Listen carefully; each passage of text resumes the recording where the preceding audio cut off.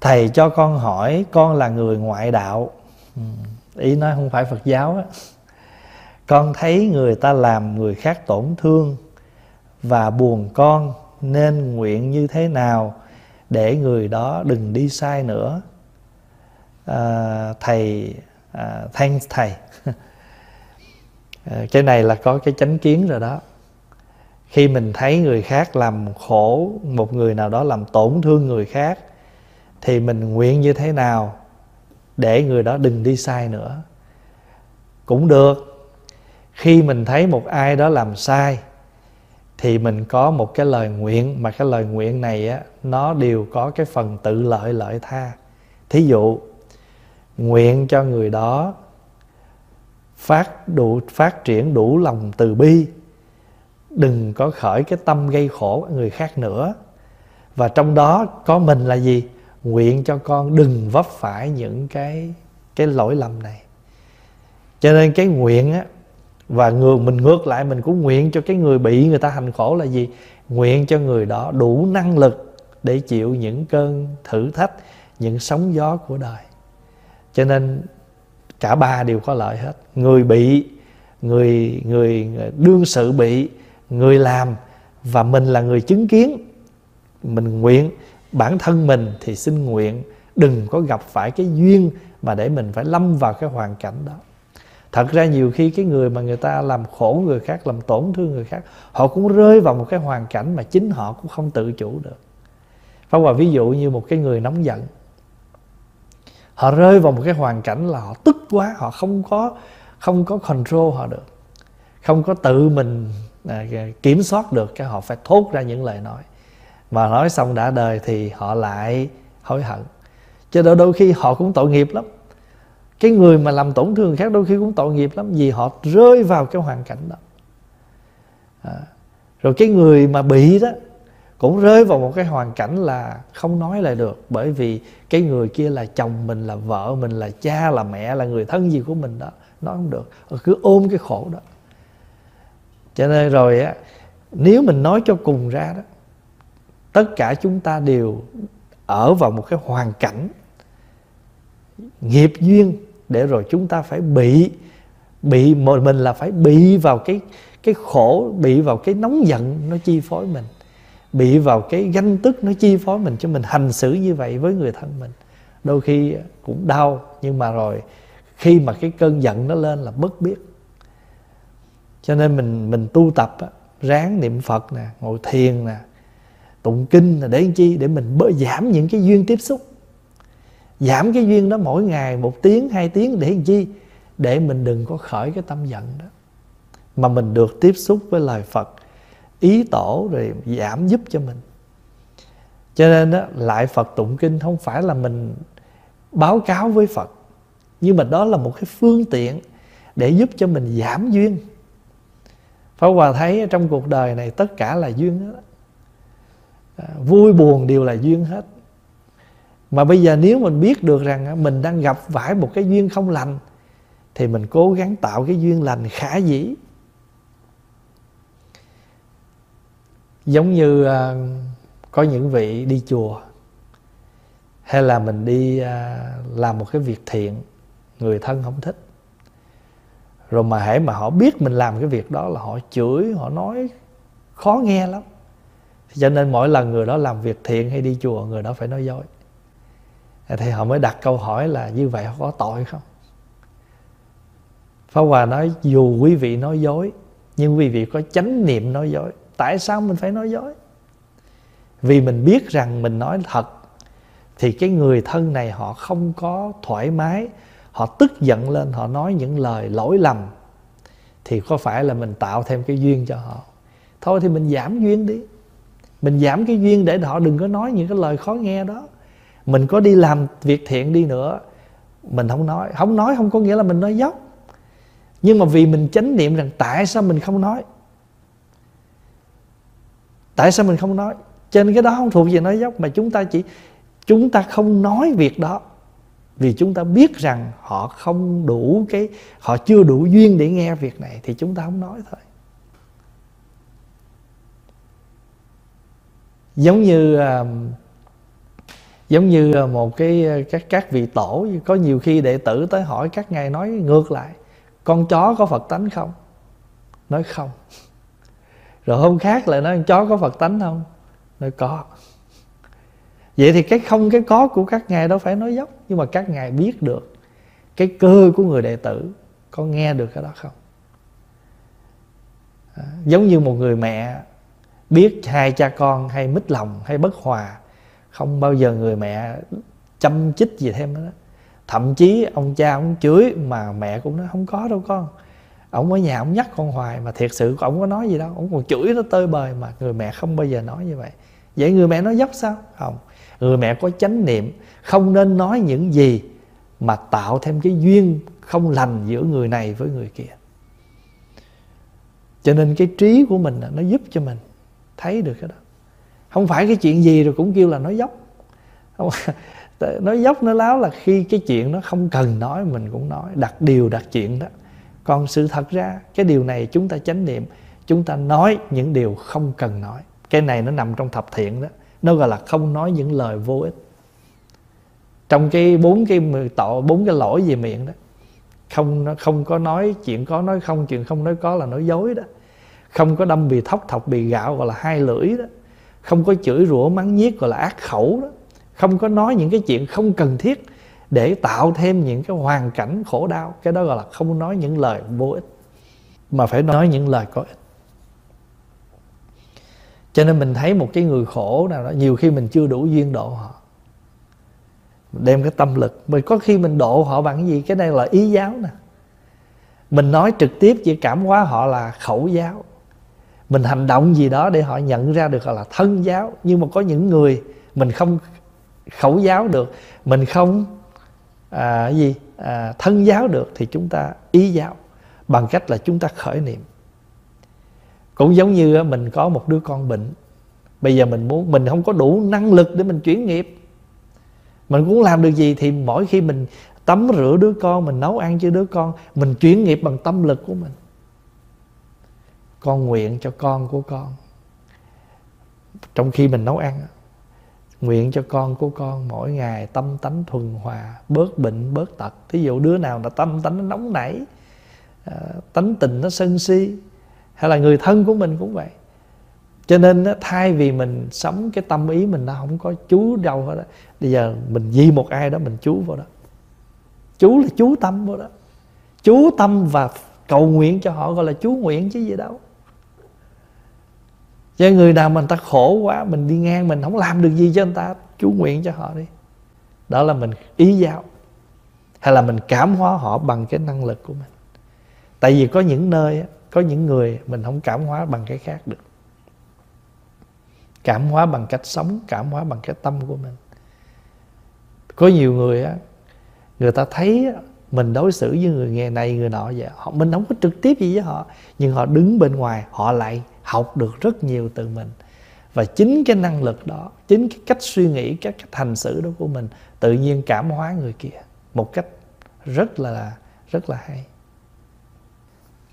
Câu hỏi kế, xin thầy hoan hỷ cho hỏi, khi mình niệm hồng danh các đức phật, có một thứ tự nhất định nào để sắp xếp tên của các ngài? Ví dụ dựa trên công đức tu hành hay hạnh nguyện của các đức phật à, thưa đại chúng là thật ra thì à, không có nhất thiết mình phải sắp xếp. Tuy nhiên ở trên cái phương diện à, nghi lễ để cho nó có một cái tạm thời một cái chương trình một cái đề mục thì chúng ta tạm thời sắp. Thí dụ như à, văn thù là trí tuệ à, ngài phổ hiền là hạnh nguyện ngài quan âm là từ bi ngài đại thế chí là dũng lực ngài địa tạng là nguyện lực. Cho mình đưa các cái vị này vô trong một nhóm cho nên thường thường niệm các danh hiệu Phật theo Phật giáo đại thừa. Quý vị thường hay niệm các vị này thôi đa số. Và đồng thời cũng tùy theo trường hợp. Ví dụ như mình niệm Phật dược sư thì mình không quên niệm thêm bốn vị. Nhật quan biến chiếu, Nguyệt quan biến chiếu Bởi vì hai vị này là hai vị hầu cận Đức Phật Dược Sư. Rồi thêm hai vị là vượt, à, Dược Vương và Dược Thượng. À, đó đó là những vị này ở trong cái bộ độ bệnh.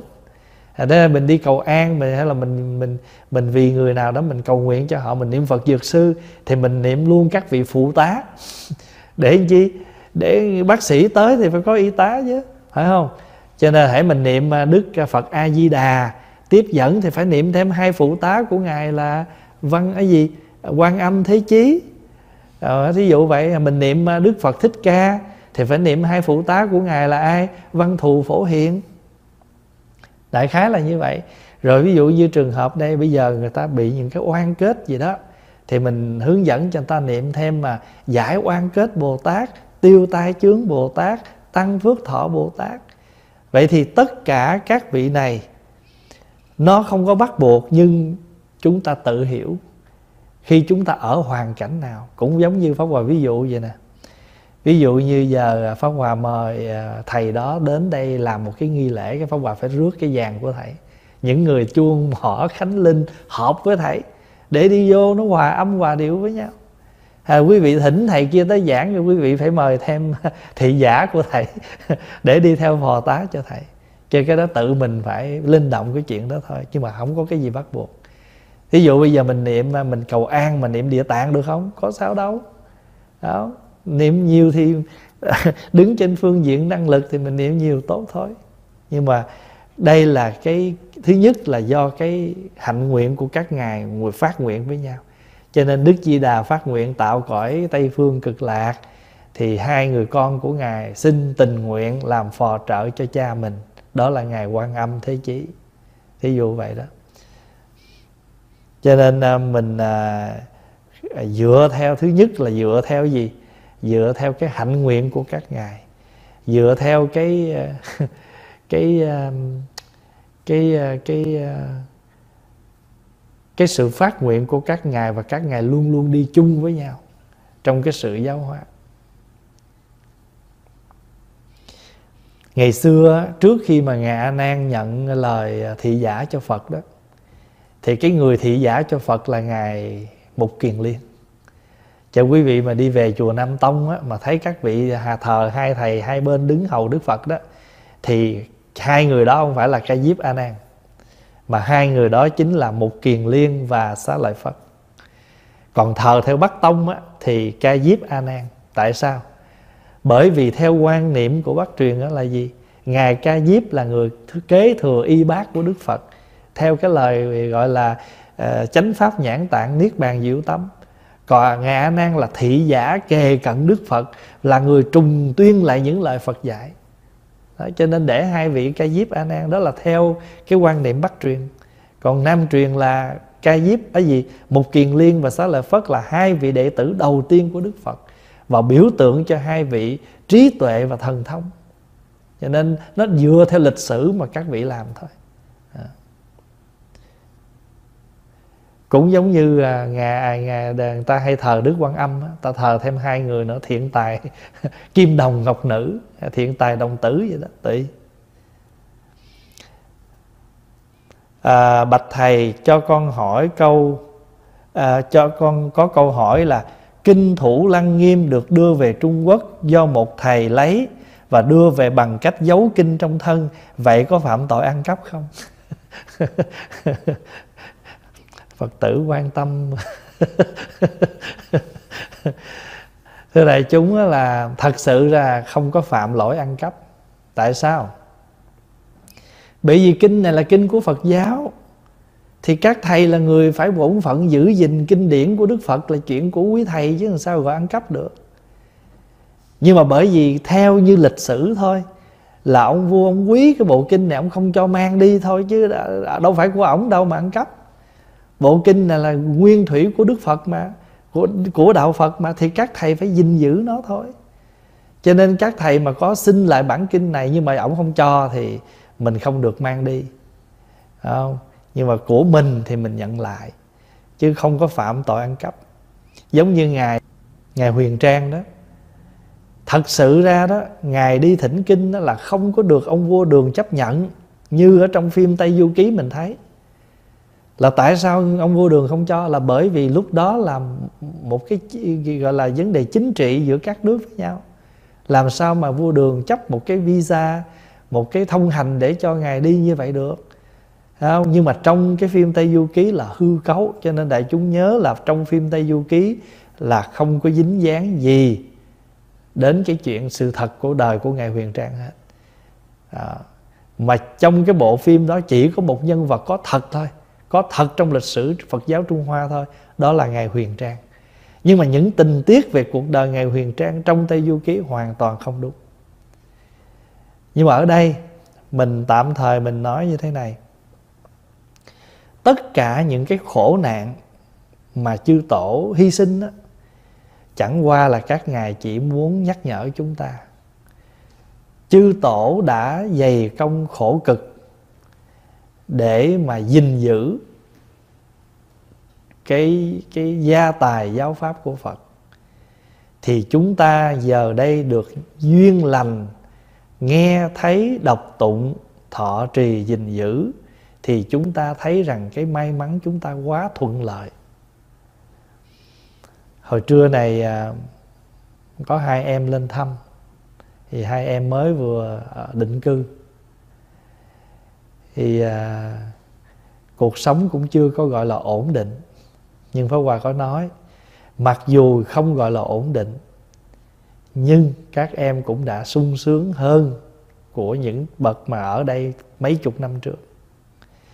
Bây giờ qua đây cộng đồng người việt phát triển chùa chiền nói chung là tất cả mọi cái đều có. Không? Và hơn nữa là bây giờ mọi thứ rất là thuận lợi, chẳng những vậy, dù các em làm gì làm, trong tay có cái phone. Muốn gọi thăm ba, thăm mẹ, thăm gia đình, lúc nào cũng rất thuận tiện. Nhưng mà so với mình ngày trước đâu phải dễ. Ngày trước là muốn gọi về thăm mà cái thời bắt đầu điện thoại bắt đầu mới có đó là điện thoại bàn. Mà đâu phải ai cũng có điện thoại đó. Nhiều khi phải gọi tới hàng xóm. Pháp Hòa nhớ rồi đó Hòa liên lạc về Việt Nam, nhờ công việc quý thầy là phải gọi về một cái nhà gần chùa rồi xin cho được gặp thầy đó. Rồi gia đình đó mới chạy đi tới gọi cái thầy đó mà không phải free à nha. Không có miễn phí à. Tính phúc á họ họ cho mượn cái điện thoại nói chuyện đó là họ tính phúc. À, mà ngày hồi đó và nhớ là gọi về như vậy là hai đồng rưỡi một phút. À, bây giờ là điện thoại rất là thuận tiện đủ các chương trình miễn phí cho nên mình thấy rằng mình may mắn thì cũng giống mình thôi. Đó. bây giờ mình đọc kinh thì dịch rồi khỏi khổ nè. Bây giờ muốn cái gì là chỉ cần google là ra nè. Phải không? Rồi thích cái gì là lấy phone chụp một cái là cũng được nè. Thậm chí giờ không có máy photocopy, kẹt qua không có, cầm cái phone chụp lại vài trang, nó cũng có. Cho nên nếu nói so ra với cái cực khổ của của các người xưa thì chúng ta chẳng gì hết mà nếu mà chúng ta còn thờ ơ còn còn còn à, giải đãi trong cái công việc gọi là thành trì thọ trì tìm hiểu nghiên cứu tu tập thì quả thật chúng ta có lỗi với các ngài. Các ngài đã vì chúng ta vì người sao các ngài không biết ai nhưng mà chỉ nói một trâu thôi vì người sao hậu lai. À, mà các ngài làm hết tất cả mọi công việc. Mà ngày nay tất cả mọi công việc rồi đến thời này các vị người Việt đã dày công dịch tất cả bản kinh ra tiếng Việt nữa. Rồi chúng ta không không không chịu thọ trì nghiên cứu, gìn giữ thì nó quá thật là uổng. Cho nên bây giờ mình nói cái việc này nó có thật hay không, mình sao mình biết được? Nhưng mà bây giờ mình cứ lấy, dựa vào đây mình lấy một cái ý gì đó để tự mình sắp tấn cho mình. Nếu đây là một sự thật thì chúng ta phải có bổn phận thọ trì, gìn giữ còn nếu đây là một sự thật thì cũng các ngài cũng không có lỗi. Bởi vì cái gì của mình thì mình nhận thôi. Cũng giống như thánh tích của Phật giáo. Ở tại Ấn Độ, từ thế kỷ thứ 12 là đạo hồi là tàn phá. Suốt 500 năm dài, đạo Phật không có mặt ở Ấn Độ. Mãi đến thế kỷ thứ 18 do các học giả người Anh À, đi về nước, về Ấn Độ, nghiên cứu bắt đầu mới khai quật từ từ lên. Và nhờ các bậc tôn đức ở các nước Phật giáo lân cận trở về đó khai thác. Bây giờ ngày nay Phật giáo Ấn Độ được được dựng lại. Bây giờ quý vị đi các thánh tích rồi là nhờ các nước. Nước Việt Nam qua lập cái chùa, nước Trung Quốc qua lập chùa. Mỗi nước đều có một ngôi chùa ở các thánh tích hết. Và bây giờ Phật giáo bắt đầu hưng khởi lên nhờ tất cả các vị đó cho nên mình mình bây giờ mà hồi xưa là các thánh tích đó là do các người các vị ờ, đạo à, ấn họ ấn độ giáo họ cai quản. Rồi mình cũng phải nghĩa là à, mình chỉ là một phần có chân ở trong cái ban quản trị đó thôi. Rồi từ từ từ từ mình mới xin lại những cái những cái thánh tích của Phật giáo để mình cai quản. Nhưng mà bây giờ họ vô họ cũng pha trộn một vài cái của họ vô đó. Cho nên không phải thấy cái gì cũng phải của mình đâu nha. Ví dụ như họ lấy dấu chân Phật á, họ in lên cái tảng đá vậy đó họ để trước một cái thánh tích nào đó chân Phật này chân Phật nè. Mục đích coi làm gì? Để mình tới mình lại hì hụp vậy đó rồi mình rờ rẫm rồi mình để tiền vô đó. Mục đích của họ là vậy thôi.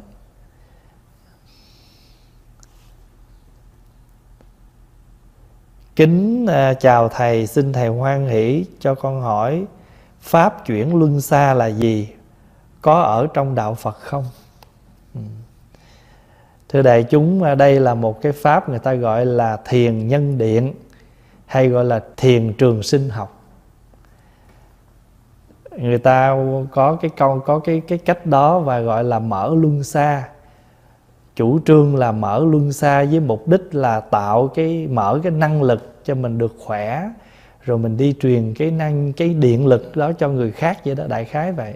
Cái đó thì của các vị mà người ta quan niệm về cái đó. Và hoàn toàn không có không có dính dáng gì đến đạo Phật hết. Thứ nhất, đạo Phật chủ trương là tất cả những giáo lý của Đức Phật đều nằm trong cái cái cái gọi là vô ngã. Chứ không có mà Đức Phật không có cái chương trình mở bất cứ một luân xa cho ai trên con người của họ. Mà đạo Phật có chuyển luân, nhưng mà gọi là chuyển pháp luân, chứ không có luân xa. Và chuyển pháp luân là gì? Là vận chuyển bánh xe chánh pháp. Nói một cách khác là truyền bá giáo lý, lời dạy để nhằm cho mọi người được hiểu, được tu tập mục tiêu của đạo phật là chấm dứt những phiền não trói buộc khổ đau. Chứ không có làm gì hết.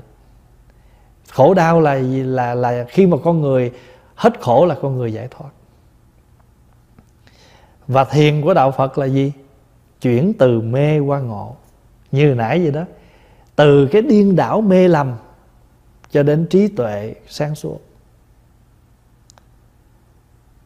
Mục đích của đạo phật là chuyển sai thành ra cái gì nó chân chánh, chuyển khổ đau thành hạnh phúc. Chứ không có không có cái đó. Thì nếu mà ai mà mình tu theo phật thì mình biết rằng cái này nó không nằm trong phật giáo. Còn quý vị muốn theo cái này để được mở luân xa, để thiền, để truyền nhân điện gì đó thì cái đó tùy. Nhưng chỉ ở đây mình chỉ có xác định rằng không phải của Phật giáo. Phật giáo không có những phương pháp này.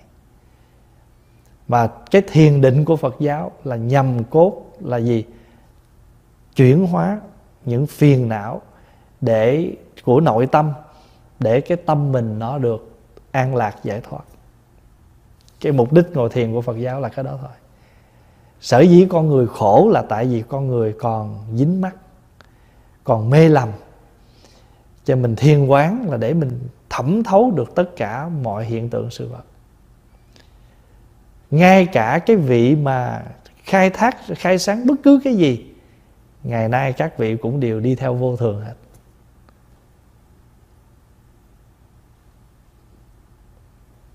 Cho nên không có một cái gì mà mình có thể làm cái gì nó trường tồn bất biến hết rồi bây giờ, ví dụ như bây giờ mình nè, bản thân mình nè, khỏe vậy đó. Mà bữa nào mà ai trúng gió đó, trúng gió đó, mà mình cạo cho gió cho chừng năm, bảy người thôi, là mình ngất ngư. Tại vì bao nhiêu cái cái cái hơi mà bệnh tật của họ đó, là ra là mình cũng mệt rồi đó. Và cái người nào mà năng lực không đủ coi, cố vấn cho người ta những cái người mà làm counselor đó, gặp những cái người mà vô mà than thở gì, chừng năm bảy người thôi, mà chừng ngày nào họ cũng gặp, mà họ không đủ năng lực chuyển hóa những cái đó coi. Thời gian họ bệnh luôn. Chính họ là người ờ, chữa bệnh tâm lý mà cuối cùng họ vướng lại cái bệnh đó. Tại vì không có đủ năng lực. Vậy cho nên mình không có đủ năng lực để mà khai cái gì cho ai hay là truyền cái gì cho ai hết. Để đó là theo quan niệm của đạo Phật. Còn mình muốn tu gì Mình học gì đó tùy mình.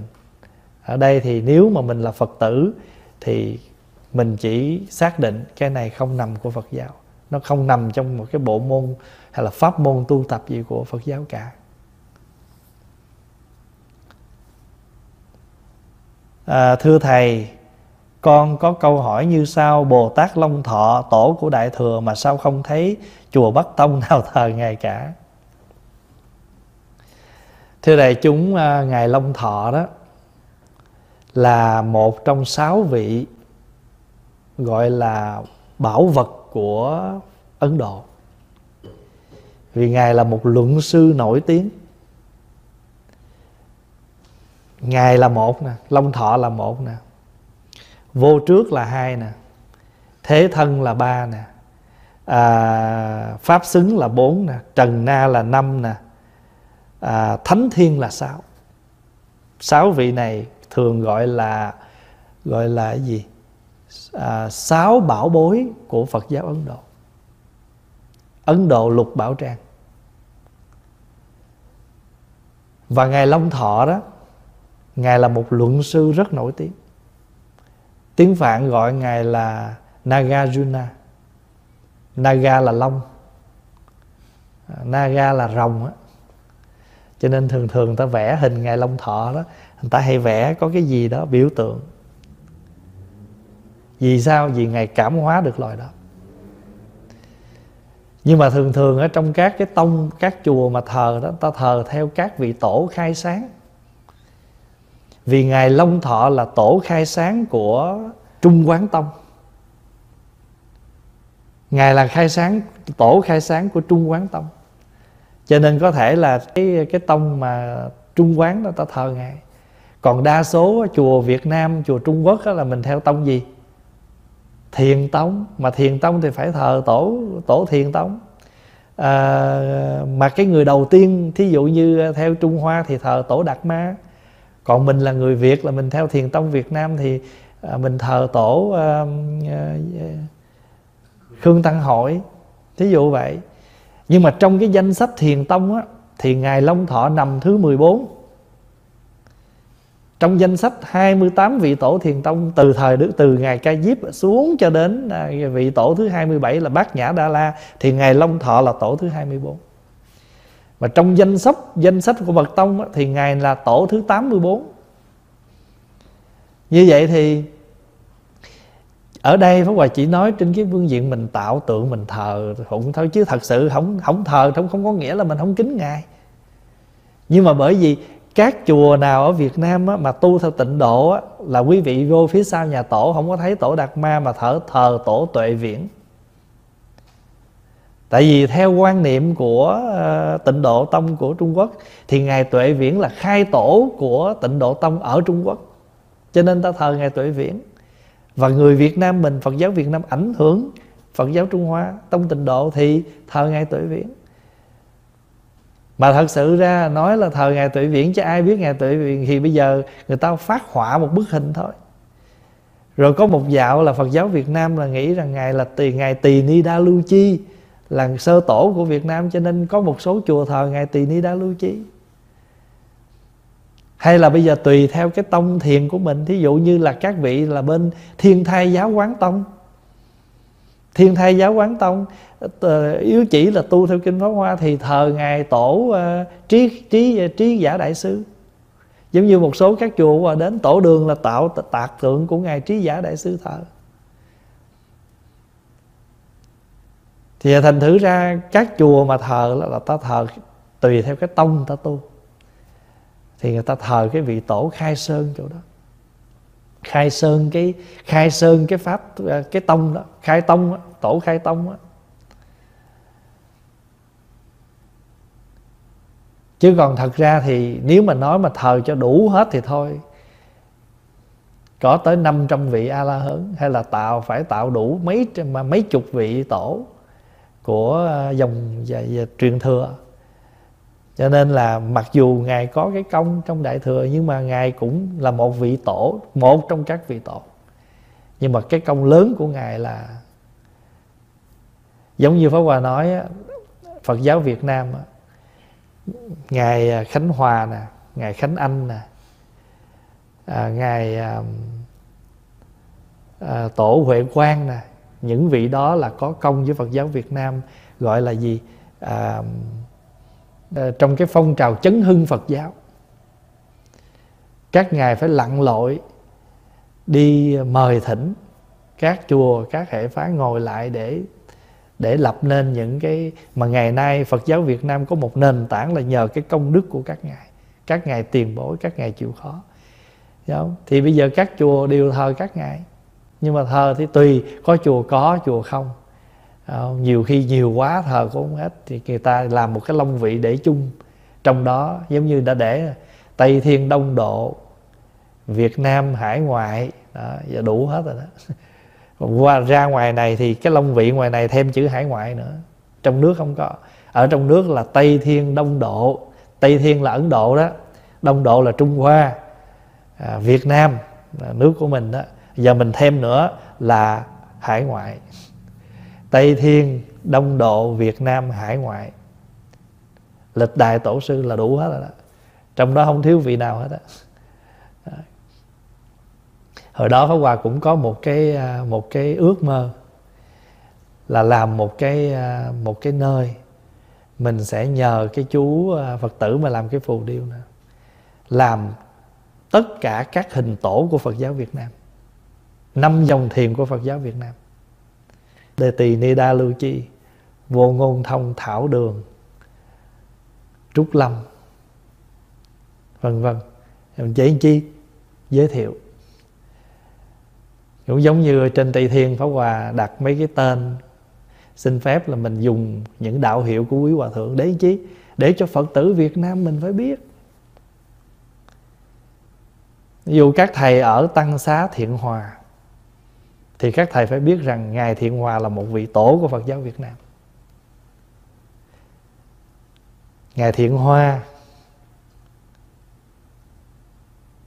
ngài khánh anh, ngài khánh hòa, ngài huệ quang, vân vân. Thay vì mình đặt cũng được, thí dụ như là cư xá la hầu la, cư xá xá lợi phất, được chứ? Ở con số nơi ta đặt vậy đó nhưng mà bà nghĩ thôi, các ngài kia ai cũng biết nhiều rồi.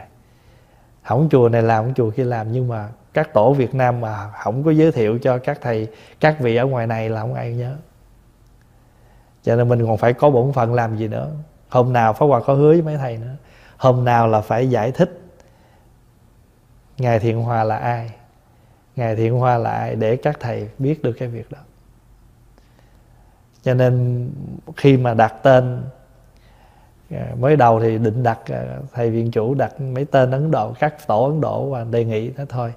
Mình dùng các vị hòa thượng việt nam mình để cho gần gũi và thứ nhất là pháp hòa rất muốn các thầy trẻ phải biết cái điều đó. Trong phật giáo việt nam có những vị tổ. Phải nói là phật giáo việt nam rất đặc biệt. Mình là con cháu phật giáo việt nam mà mình không có chịu khó mình học hỏi là mình mình lỗ lã lắm đó. tại các tổ của mình và cái đường lối phật giáo ra, ngay cả bây giờ những chương trình học phật rất là phong phú mà mình không có lo mình học là lỗ lã lắm đó. khi mà nghiên cứu vô thì mình thấy phật giáo việt nam rất dồi dào chỉ có một cái buồn là mình chưa có bộ đại tạng đại tạng kinh bằng tiếng việt thôi nhưng bây giờ mà mình cũng đã có rồi nhưng mà chưa đủ rất tiếc là các vị tôn đức à, cái ban phiên dịch lần lượt ra đi khi các ngài chưa làm à, hoàn tất những cái tâm nguyện của quý ngài. Thì mình cũng rất mong là các ngài làm gì? Tái lai phổ độ. Tái lai là gì? Trở lại. Để làm cái công việc độ sanh rộng rãi. Cho nên Pháp Hòa nghĩ rằng nếu các ngài có tâm nguyện độ sanh thì các ngài sẽ trở lại. Và cái việc của mình là chuẩn bị. để được tiếp tục dự những cái pháp hội của các ngài. Đó là mình mình, nếu mà mình có cái tâm nguyện, gọi là, được à, nhờ cái sự hướng dẫn của các ngài. Nếu đời này mình tu, mình thấy mình tu chưa rốt ráo, thì thôi trở lại tu tiếp với các ngài để được sự giáo hóa của các ngài, rồi tiếp tay với các ngài trong cái công việc hoàn pháp lợi sinh. Xin thầy hoan hỷ giải đáp cho con rõ hơn về kinh diệt tội trường thọ mình tu tập như thế nào theo lời kinh để sám hối diệt được tội. Tội có được hết hẳn để khỏi bị đọa vào ác đạo hay không? Mong thầy trả lời mong câu trả lời của thầy.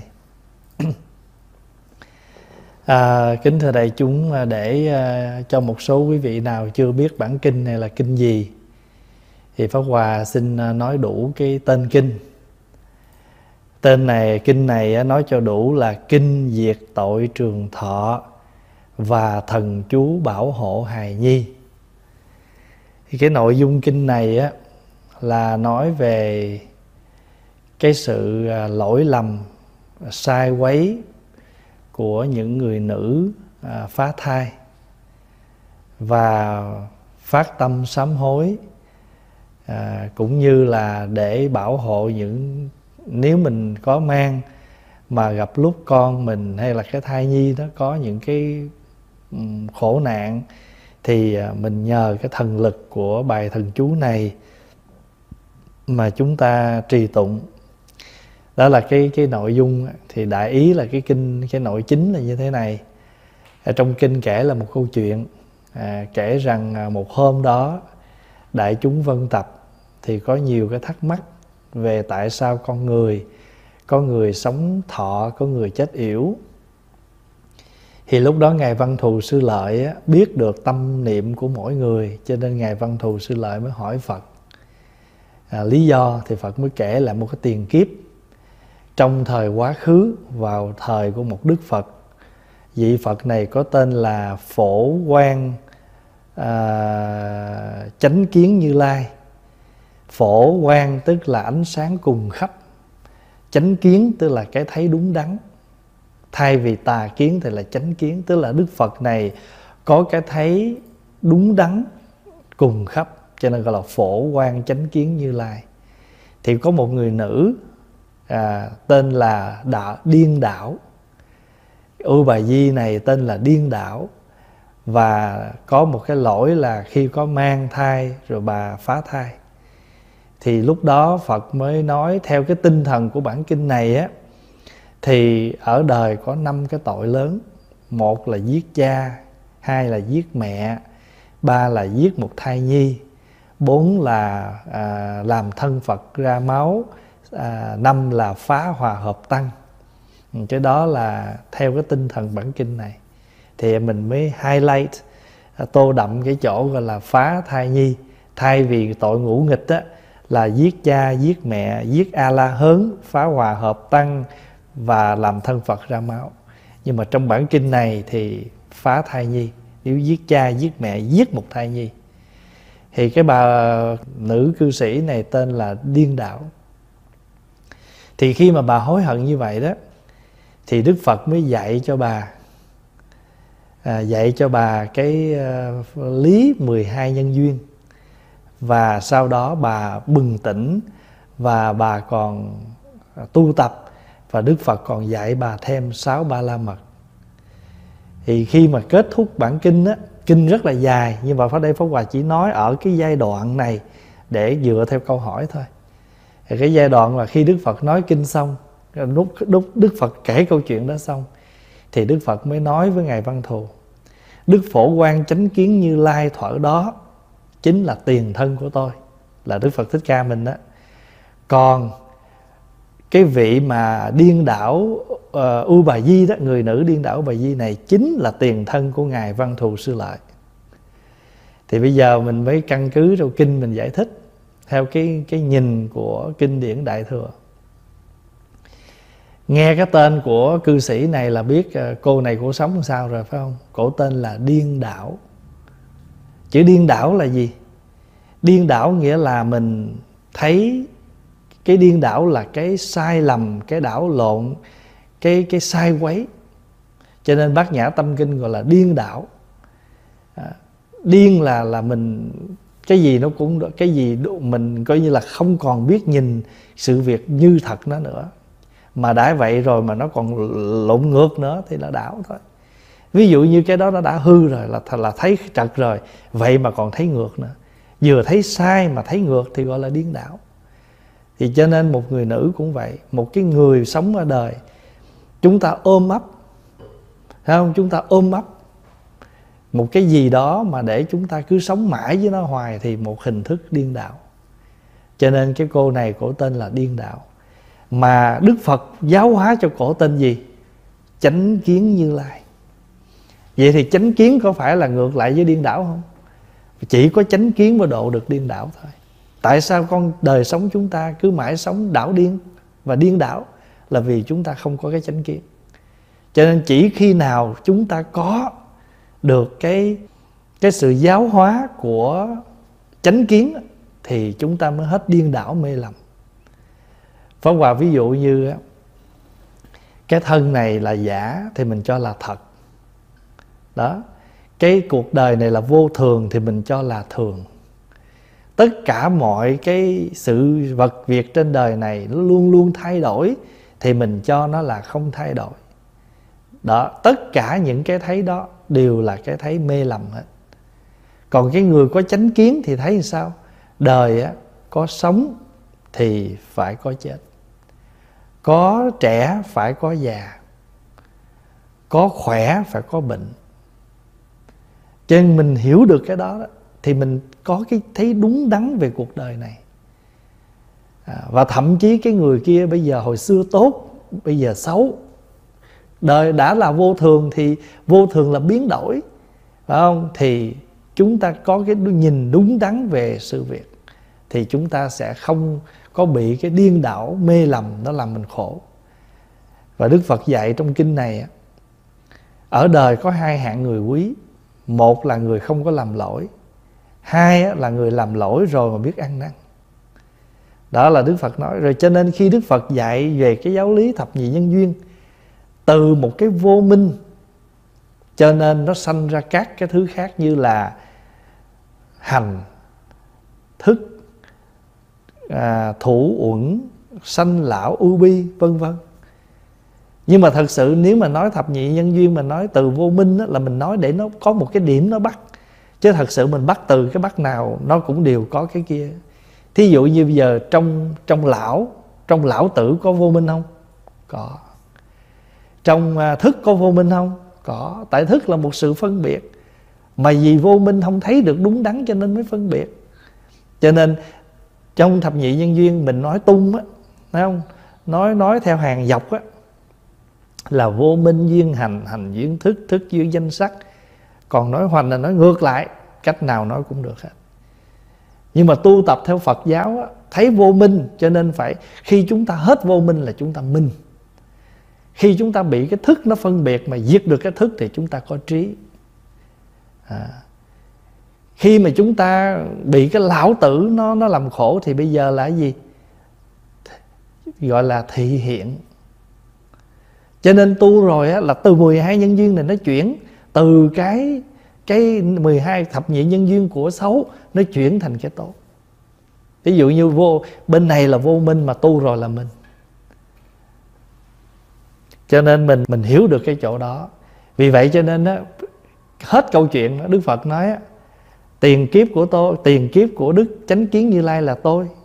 Thì thì cái đó mình khỏi bàn rồi. Nhưng mà có cái chỗ là cái cô nữ này tên là điên đảo này lại là tiền thân của ngài văn thù. Mà ngài văn thù là tượng trưng cho gì?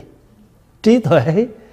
Phải không? Ngài văn thù là tượng trưng cho trí tuệ. Mà bà này là điên điên đảo. Như vậy hết điên đảo thì là trí tuệ. Nói cách khác, một con người có trí, sở dĩ ngày nay mình sống với cái trí là vì mình đã từng sống với điên đảo vọng tưởng. Ví dụ như xưa giờ mình chưa học phật mình sống với chấp trước mê lầm. Cái gì mình cũng chấp. Chấp mình, chấp người, chấp nhân, chấp ngã, chấp pháp. Bây giờ hết chấp rồi thì tự nhiên một con người rỗng rang cho nên sống, vậy thì tu theo phật giáo là để gì? Để phát triển cái trí. Học phật là để chúng ta phát triển cái trí. Mà khi mà cái trí nó có rồi thì chúng ta thấy sự việc như là mà không hề có thêm cái vọng thức ở trong đó không hề có thêm cái cái của mình trong đó. Vì vậy cho nên á, đứng ở trên cái phương diện gọi là văn bản của kinh thì là nó là như vậy. Nhưng mà với cái nhìn, chúng ta lấy cái nhìn đại thừa, lấy cái nhìn của sự tu tập thì chúng ta biết được một cái, với các vị mà à, gọi là gọi là giảng kinh, gọi là liễu nghĩa đó, thì kinh này thuộc về kinh bất liễu nghĩa liệu nghĩa là gì? Là những cái giáo lý cao siêu, nói những cái bồ, nói cái, nói tới những cái phật tánh chân như. Nhưng mà ở một cái phương diện bất liệu nghĩa là gì? Cũng có công năng giáo hóa. Cũng có công năng giáo hóa. Thí dụ như bây giờ mình, Pháp Hòa nói ví dụ bây giờ mỗi người mình nam nữ gì ai cũng đang mang một cái thai hết trơn cái thai đây là gì? Là đứa con của mình. Một nếu mình mang trong người mình á, một đứa con khỏe mạnh, thì mình phải ráng dưỡng nó để mình sanh. Nghĩa là chúng ta đều có một bầu tâm sự hết. Nhưng mà có thể có, chúng ta có những cái tâm sự vui, có những niềm vui cho nên mình mình sanh đứa nhỏ đó ra thoải mái, tại vì mình không có bị cái khổ. Nhưng trong cuộc đời này đôi lúc chúng ta tự nhiên ôm một đứa con oan. Đó là gì? Đó là chúng ta tự nhiên ở đâu chuốt lấy một cục phiền não chúng ta ôm trong lòng. Hay nói cách khác là chúng ta phá hoại đi một cái chủng tử ở trong lòng của chúng ta. À, cho nên chúng ta tu tập là để chúng ta nuôi cái cái cái căn lành đó. Làm sao ở trong cái bản kinh này nói làm sao để nuôi dưỡng cái tâm bồ đề. Thì bây giờ muốn nuôi dưỡng tâm bồ đề đó chỉ có cách là chúng ta tu sáu ba la mật. Cho nên theo cái câu hỏi của vị phật tử, làm sao sám hối theo tinh thần của kinh này? Sám hối là gì? Cái gì lỗi thì lấy cái đó sám. Tội từ tâm khởi thì đem tâm sám. Vậy thì cái thân nào lỗi thì lấy cái thân đó ra sám. Ví dụ như ngày xưa mình không biết, lỡ mình lỡ dại, có mang, thì bây giờ nó cũng là con mình. Thôi bây giờ mình mình vì một cái giây phút nào đó. Thì như trong bà điên đảo này là vì ngày xưa phong kiến. À, tự nhiên có mang như vậy là không thể chấp nhận cho nên bà sợ quá đi bị phá thai. Nhưng mà rồi do suy nghĩ không có kỹ cho nên cái cái cái niềm đau nỗi khổ đó nó dây dẳng trong lòng mình hoài. Vì vậy cho nên giờ đức phật làm sao giải trừ đây? Thôi bây giờ lỡ rồi việc gì cũng đã xong. Bây giờ cái quan trọng là chúng ta phải sống tốt những đứa con chúng ta đang có, chúng ta phải dạy dỗ cho đàng hoàng. Bên cạnh đó, phải lấy cái thân này hành lục độ. Bố thí, trì giới, nhẫn nhục, tinh tấn, thiền định, trí tuệ. Làm sao phát triển sáu cái này cho đến cái chỗ viên mãn? Thì đó là phương pháp sám hối. Sám hối, ăn năn là điều tốt. Nhưng nếu chúng ta ăn năn mà ôm cái khối ăn năn đó mà không có cầu tiến không có chuyển hóa, thì cái đó nó trở thành ra một cái chướng ngại cho mình. Ôm hoài một cái hối hận mà không biết làm gì để biến cái hối hận này thành cái một cái chuyển hóa tốt đẹp. Cũng giống như mình nói mình phát hiện ra trong tủ lạnh mình có một cái tô thức ăn nó hư, thì không ai biết hư mà vẫn để trong tủ lạnh. Biết nó hư thì phải làm gì? Phải đem ra đổ đi không? Rửa ráy lại thì chúng ta có lại cái tô mới chúng ta dùng. Hay là ngược lại chúng ta biết cái tô này nó sắp hư chúng ta làm sao để chúng ta dùng nó mà trước khi nó hoại? Cũng như thế. Cho nên ở đây cái chỗ tu tập của chúng ta là gì? Chuyển hóa từ cái mê lầm điên đảo thành ra trí tuệ.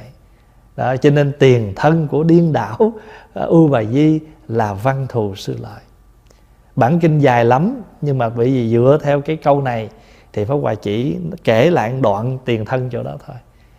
Thì nếu ở trên cái phương diện bất liễu nghĩa nghĩa là dựa vào những cái chuyện tình tiết của thế gian này, phải không? Để mà đức phật giáo hóa, để có lời cảnh tỉnh, thì nó cũng có công năng giáo hóa. Những bậc thượng thừa, người ta không vướng vô cái này.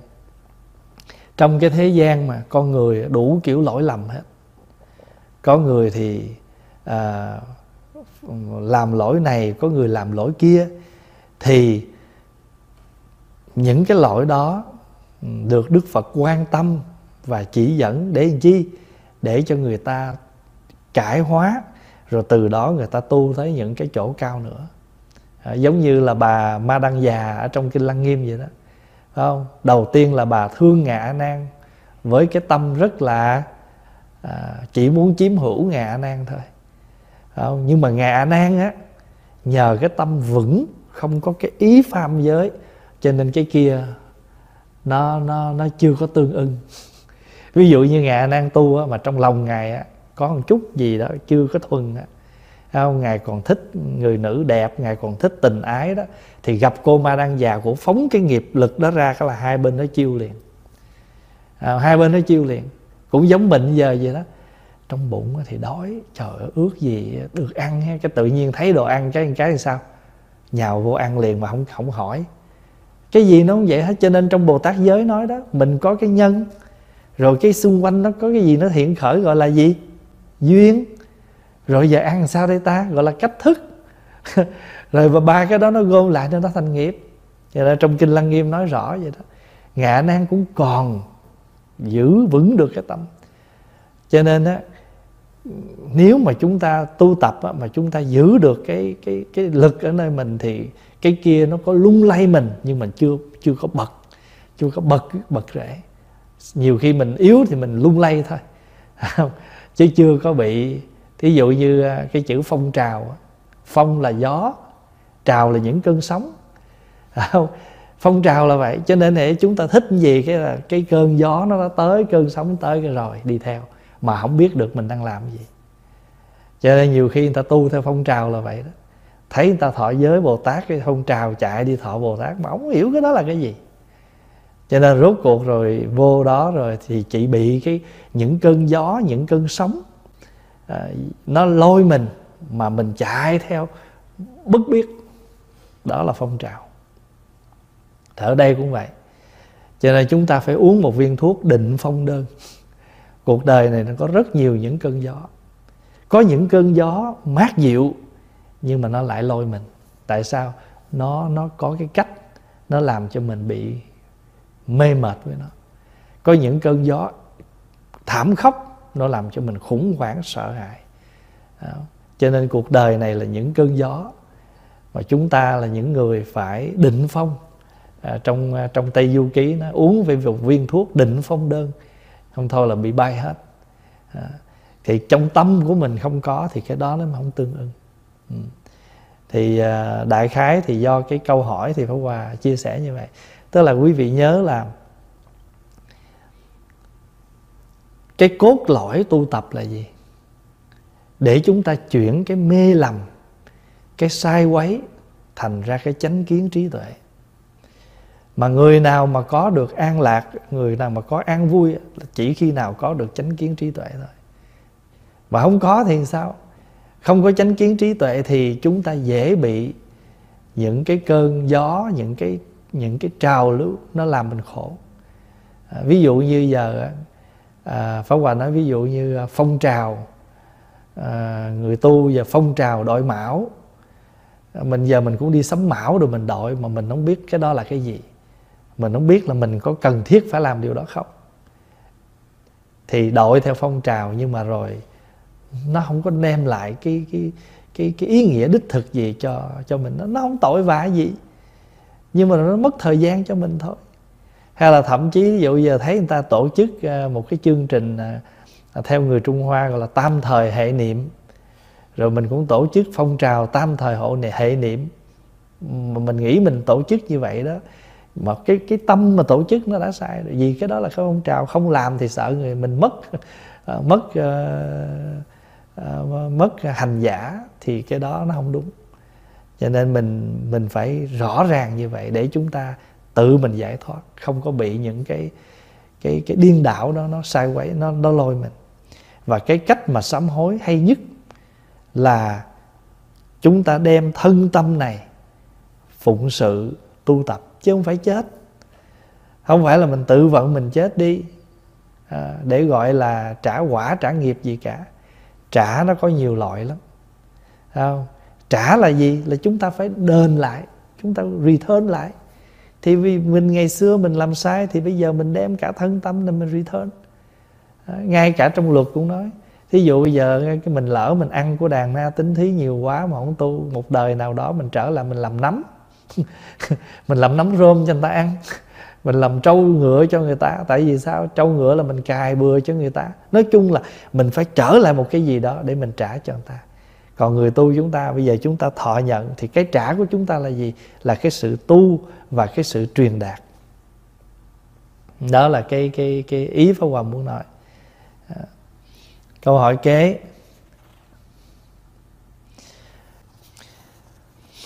Con có câu hỏi này, kính mong thầy giải đáp dùm con muốn thờ tượng mẹ quan âm, nhưng có một vài người nói với con là con còn nhỏ, chỉ được thờ hình, không được thờ tượng.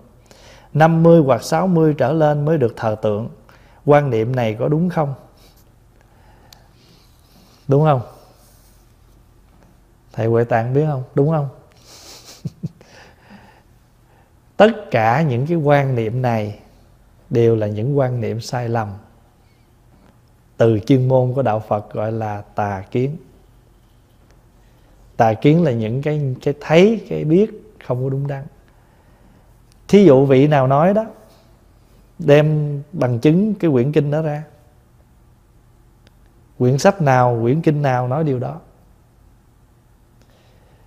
Và bây giờ mình nghĩ đơn giản thôi tại sao anh đi ra chợ anh khiêng hàng hàng chục những cái tượng tầm bậy tầm bạ về anh để đầy nhà anh được?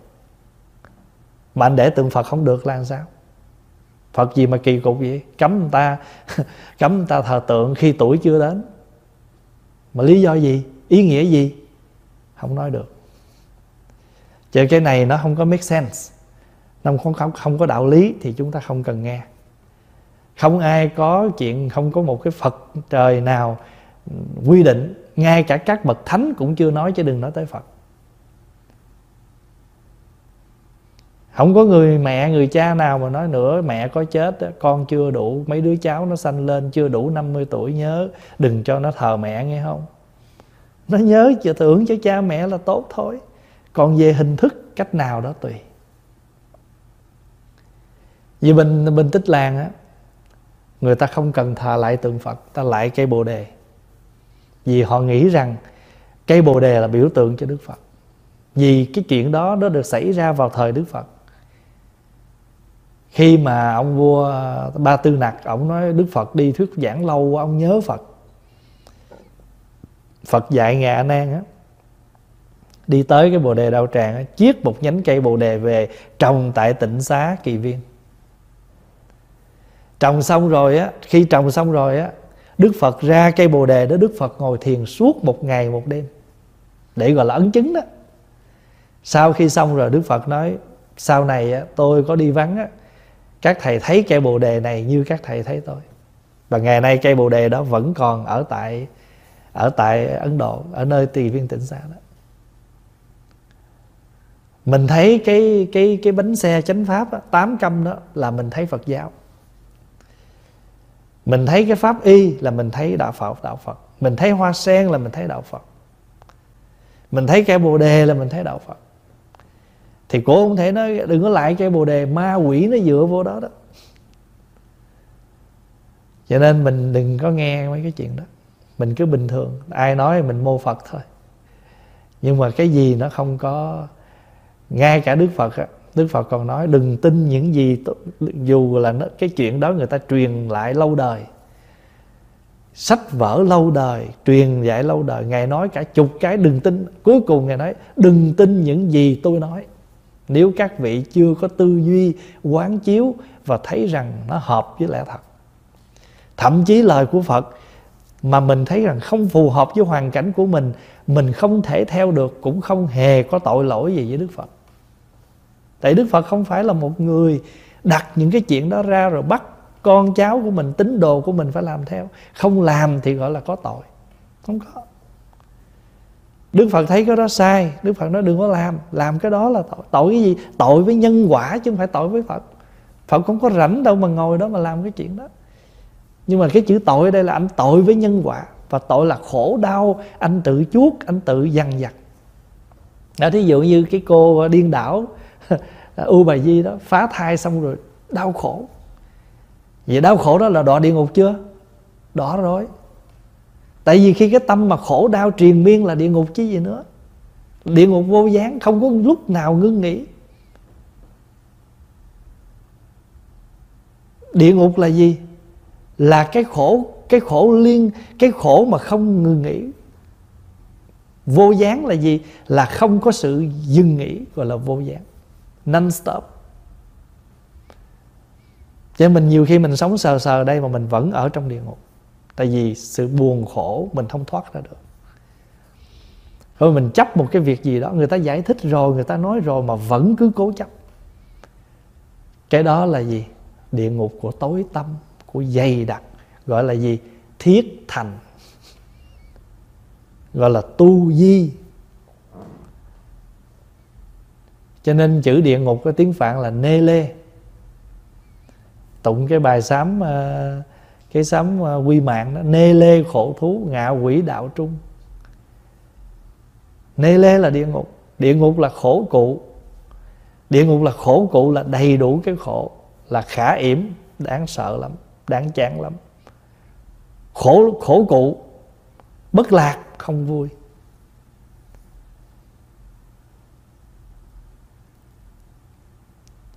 Thường thường khi ai hỏi, ai nói mình cái điều gì, nó vậy hả? Cho tôi coi cái đó. Kinh sách nào nói? Có nhiều vị xuất gia, người xuất gia mà cũng biểu phật tử vậy đó, còn nhỏ đừng thờ tượng, thờ hình. Mà không có giải thích thậm chí cái tượng phật ta thờ vậy ta lỡ ta thắp cây nhang cao, quở tội chết nghe không? Thắp cây nhang cao hơn đầu phật. Đó, rồi mình đi, cứ đi nói mấy cái đó thì vô tình là người ta nhìn vô đạo phật. Tự mình đã lệch lạc đạo phật thì làm rồi? Cứ như vậy đó, mình truyền truyền để càng ngày, đạo phật nó càng méo méo méo. Mà rẽ ra đạo phật rất là thẳng thắn như vậy. Cho nên mình phật tử là mình phải có bổn phận mình học phật. Học phật để làm gì? Để có chánh kiến, chánh tư duy. Người mà có chánh kiến, chánh tư duy nhất định phải có chánh ngữ rồi chánh nghiệp thôi. Thầy ơi, con quá nhiều công việc nên rất ít đi chùa. Cho nên người ta bảo con không tu vậy có đúng không? Đâu phải đi chùa mới tu. Có nhiều người ở trong chùa cũng chưa tu mà. Cho nên mình cái chuyện đi chùa để làm gì? Nói như vậy không có nghĩa là mình không đi chùa. Cố gắng, nhưng mà nếu vì hoàn cảnh, mình không đi chùa vì hoàn cảnh, chứ không phải không đi chùa vì giải đãi, vì phiền não, hai cái nó khác. Cũng giống như nói mình không thể ngồi tụng kinh là vì hoàn cảnh. Còn cái đó thì mình có vì hoàn cảnh này cho nên mình không được, thì mình lại làm ở cái hoàn cảnh khác. Ví dụ bây giờ nào vì bận công việc, không ít đi chùa. Nhưng bù lại ở nhà, có nghe pháp có tu tập. Đâu có sao. Nhưng mà có đủ điều kiện đi chùa mà tại giận cái bà đó không đi cái này mới lỗi nè. Tôi ghét cái bà đó tôi không đi. Hay thậm chí có nhiều người nói sao tôi đi chùa có một lần à rồi tôi thấy mấy người đó họ hung dữ với nhau tôi ghét tôi không thèm đi. Như vậy là mình tự thối lui bằng những cái hình ảnh bất thiện của người. Cho nên nó, nó có hai cái trường hợp mà thật sự nói lỗi là lỗi lỗi với ai phải lỗi với phật. Lỗi với chính mình thôi. Có cơ hội mà chúng ta không làm. Có phương tiện mà chúng ta không tu. Rồi một đời, một kiếp nào chúng ta ở một hoàn cảnh nào đó, thí dụ như người địa ngục muốn tu, không thể tu, vì sao? Có ai nói một chữ phật cho mà nghe đâu mà tu? Có ai nói được một chữ chùa cho nghe đâu mà phát tâm? Vì cõi địa ngục toàn là nói chuyện khổ mở mắt ra là thấy đâm mở quay qua bên đây là thấy chém. Bên kia là là chuyện khổ. Cũng giống như bây giờ xin lỗi đại chúng dù mình ở trong một hoàn cảnh đi. Cả cái xóm đó trời ơi toàn dân gọi là hung dữ không? Không có ai nói một chữ phật gì cho mình nghe. Thì cái người đó họ không có cơ hội. Cho nên nếu mình ở một cái xóm mà mà cái, cái xóm mình mà có chỗ nào nhà đó có tiếng chuông tiếng mỏ là biết có phước á. Pháp Hòa Pháp Hòa nghĩ Pháp Hòa đi tu được cũng một phần là nhờ ở cái xóm tu. Họ tu nhiêu mình không biết. Nhưng mà sáng ra từ 4 giờ sáng tới chiều tối là tiếng chuông tiếng mỏ 4, 4 giờ nhà này thỉnh 5 giờ nhà kia Văng vẳng cái tiếng chuông tiếng mỏ Rồi thậm chí mình lo mình chơi giỡn ngoài sân Thì thấy nghe cái cái bác đó bà tụng kinh. Pháp Hòa thuộc số bài kinh là tại ngồi Ở trước cửa nhà chơi mà mà thuộc rồi mấy bà cụ già thắp nhang sáng nà tối nào cũng thắp bàn thờ ông thiên. Bà khấn mình nghe mỗi lần bà khấn mình chạy tới mình nghe coi bà khấn gì. Bà khấn gì cái tự nhiên nghe. Chính phương trời mười phương phật. Phật tổ, Phật thầy, Phật tiên, thần thánh cho con tu niệm. Huệ tâm, huệ tánh, huệ nhãn, huệ nhĩ, huệ thủy, huệ khẩu. Nghe bà tụng, bà nghe khấn mình cũng thuộc. Cho nên nếu mà ở cõi trời sướng quá cũng không tu Tại sao biết không? Rủ đi chơi suốt. Không có nghe một tiếng chùa không nghe tiếng phật. Cho nên ở cõi cái chỗ mà cực kỳ sung sướng lạc thú của cõi trời cũng khó. Ở một cái cõi mà khổ đau triền miên như địa ngục cũng khó. Chỉ cõi người này nè.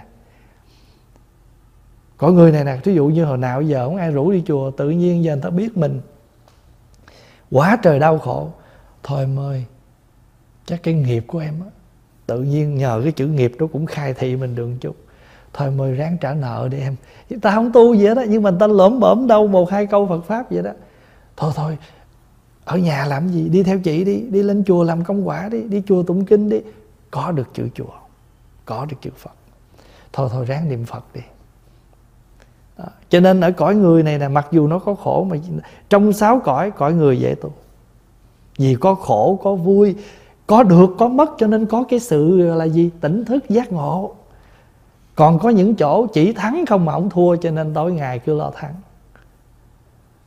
Cõi này nè vừa thấy đó, sống đó, chết đó, có cơ hội tỉnh thức.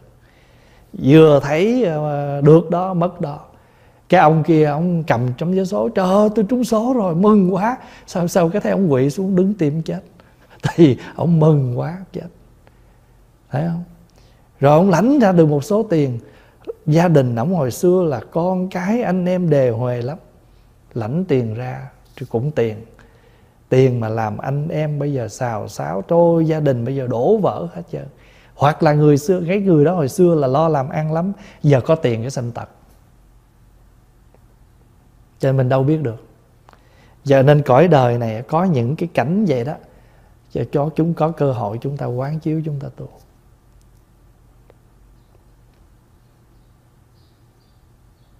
Cho nên không phải không phải là mình không đi chùa vì hoàn cảnh nó khác. Cho nên tự mỗi người mỗi biết nha. Làm biến mà đổ thừa hoàn cảnh là lỗi mình ráng chịu. Có cơ hội mà không làm cái đó là sai.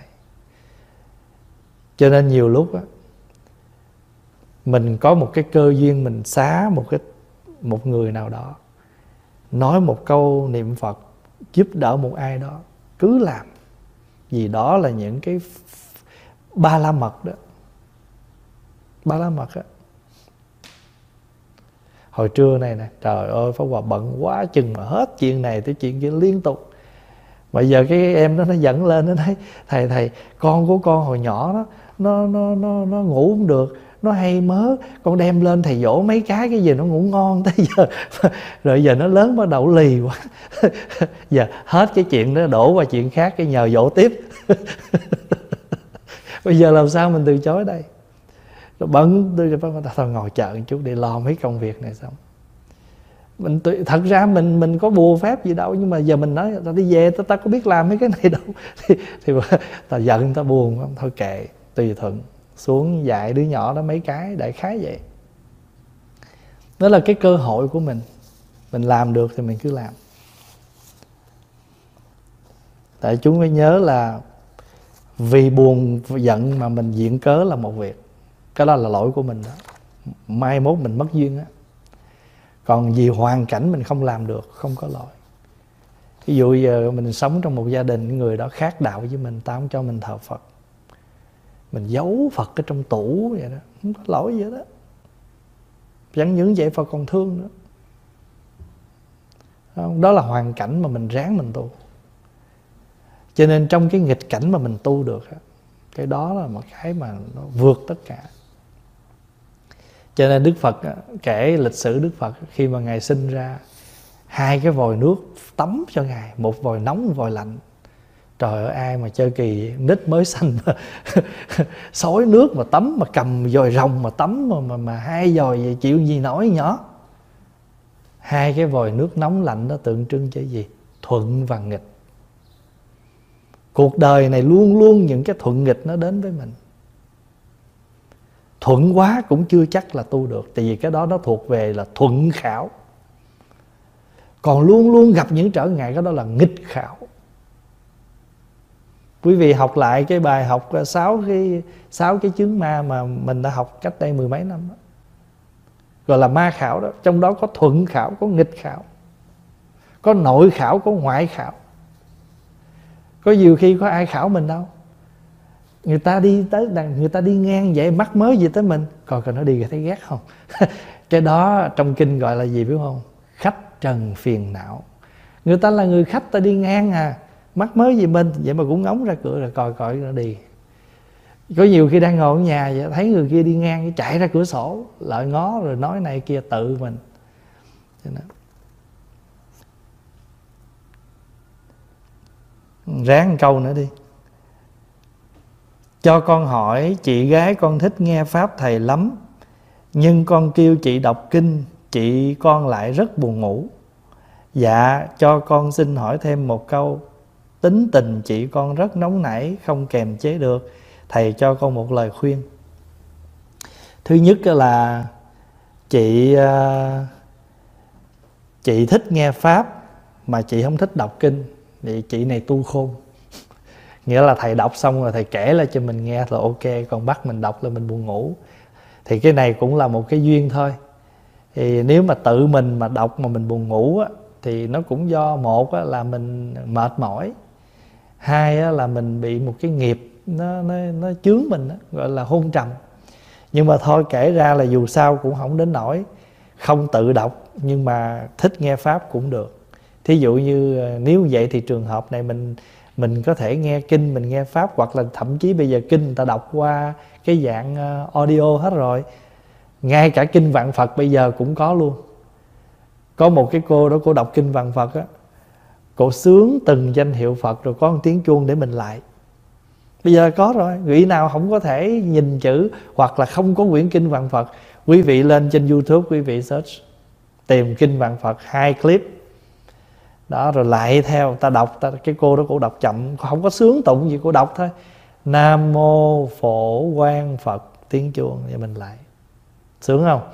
Trời ơi, tu quá, trời sướng vậy mà cứ diễn cớ hoài. Còn cái chuyện mà gọi là tánh tình nóng nảy thì mình nói cái vị đó nóng nảy, nhưng mà rồi mình cũng phải nhìn lại cái môi trường, cái hoàn cảnh và những người xung quanh chị đã sống như thế nào để tạo cho chị một cái nóng nảy. Đôi khi mình nói một người khác bực bội, nóng nảy rồi đôi lúc mình cũng phải nhìn lại. Nguyên do. Tại vì thường thường nó không có bao giờ nghiệp lực thì nó không bao giờ đi một chiều phải có cái gì đó người ta mới tạo nghiệp được. Phải không? Thì vậy cho nên người mình biết người ta không thích cái đó. Thì mình phải khéo léo làm sao đừng có tiếp tục để cho người đó có cơ hội tạo cái nghiệp đó. Thì cái, cái mình muốn giải mà mình không có biết cách đó mình làm sao hồi cái giữa mình với họ càng ngày càng dày thêm. Cái đó là do cái cái cái mình phải nhìn lại nữa cái hoàn cảnh. Thí dụ như mình nói cái người đó nóng là một cái biên kiến. Biên kiến là nhìn bên. Rồi bây giờ mình nghe thêm một bên là lý do hoàn cảnh. Chứ không phải là không có nguyên do cho nên tất cả chúng ta tạo nghiệp nó đều có một cái cái nguyên do. Thật sự con người mình đó khi mình làm sai lúc nào mình cũng phải có một cái lý do gì mình nói tại vì như vậy mà tôi phải như vậy. Đúng không? Và có những cái nó đúng như vậy. Cho nên là nếu muốn giúp chị thì mình phải tìm hiểu coi cái hoàn cảnh cái cái, cái môi trường và những người chị tiếp xúc hàng ngày là những ai và có thể những người đó họ nói, họ làm và hoàn cảnh đó dễ cho chị, tạo nên cái bực bội còn nếu mọi việc tốt hết không? mà chị cứ như thế là do cái tập nghiệp chủng tử của chị, thì mình phải cố gắng làm sao đừng tưới tẩm cái chủng tử phiền não nơi người đó và ngay cả chính bản thân chúng ta đây, nhiều khi chúng ta cũng sống bằng cái tập nghiệp của chính mình mình không hay và mình cũng có cách bào chữa ờ, để cho cái tập nghiệp mình nó an tâm mà nó phát triển. Vậy cho nên tụng một thời kinh, ngồi thiền niệm phật rất có công năng, giúp cho mình nhìn lại cái tập nghiệp của mình. Pháp Hòa ví dụ như mình có một cái tập nghiệp là trạo cử. Khi ngồi thiền là mình sẽ biết được nó nhiều lắm. Trời ơi, không ngờ tôi lăn xăng dữ vậy đó. Mình có tập nghiệp lo ra. Khi mình tụng kinh là mình biết. Ngồi tụng vậy chứ tâm mình phóng ra vậy lắm. Không có tội lỗi gì hết. Không có tội lỗi gì hết. Nhưng mà cũng đừng vì cái đó mà bỏ tụng đó là mình chưa có, mình biết vậy phải không? Đó là tập nghiệp rồi, phải tụng dữ nữa. Tiếp tục tụng để cho cái tập nghiệp nó giảm. Cho nên mình uống thuốc á, vô mà nó nó có tác dụng đó, nó làm cho da mình ngứa ngáy lên. Mình thậm chí mình xin lỗi, mình đi cầu, mình đi sổ rồi đó, mình biết thuốc có tác dụng. Đừng có thấy những cái nó phản như vậy rồi nghĩ là mình mình mình ấy, đó là thuốc nó có tác dụng bắt đầu nó sổ độc. Thì mình cũng vậy. Bình thường mình chiều theo nó nó thích nghĩ gì là mình nghĩ theo, cho nên mình không thấy gì hết. Nhưng khi mình bắt đầu ngồi thiền, mình thấy mình quá trời lo ra. Sẵn đây Pháp Hòa cũng nói, có một cái câu hỏi của một chị Phật tử hỏi là, khi ăn chay thì cứ tối ngày nghĩ chuyện mặn, mà cái lúc được ăn mặn thì không nghĩ mấy chuyện đó ví dụ như ngày ăn chay mà cứ nghĩ phải nấu gì mặn mình biết rằng cái đó không có tội lỗi gì hết. Là mình tự mình biết rằng trong tâm thức mình cái cái cái tập nghiệp của của chướng khí nó tập tu đó nó chướng ngại mình tu. Ăn chay nghĩ chay cho tại sao ăn chay nghĩ mặn à, ăn chay mà cứ nghĩ cắt gà này nấu làm sao làm sao mà lúc bình thường ăn mặn không có. Phải không? Thì mình biết rằng cái đó sám hối được mình sám hối và mình nguyện được. Nguyện cho con đừng có gặp những cái cảnh duyên như vậy. Và nếu với cái lòng chí thành mình chuyển được hết. Thôi thì à, tối hôm nay à, pháp hòa có một giờ với đại chúng để à, chia sẻ những câu hỏi của ngày hôm nay. Thì trong khi chia sẻ có gì sai sót mong đại chúng hoan hỷ cho. Nếu những câu trả lời pháp hòa chia sẻ pháp hòa mà quý vị chưa có à, mãn nguyện thì xin à, cầu hỏi ở những bậc cao minh nữa. Còn khả năng pháp hòa thì chỉ có vậy thôi. Thì mong đại chúng an vui à, tu tập. Và ngày mai chúng ta có một ngày nghỉ ngơi. Sẽ hẹn gặp lại đại chúng vào ngày thứ ba. Hay di đà phật. Em mong đại chúng hồi hướng. Pháp ờ, môn ờ, xin ờ, nguyện hồng. Ơn nghĩa xin nguyện đền phiền nào. Nguyện đoàn quả phật xin chứng nên.